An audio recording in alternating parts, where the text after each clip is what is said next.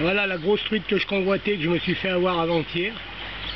Un super beau poisson, il est pas loin des 50 cm.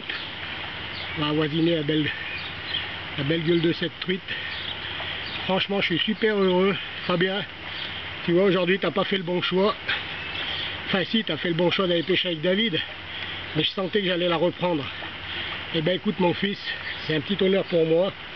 Voilà un joli poisson. Je me régale. Je te fais la bise, ma truite.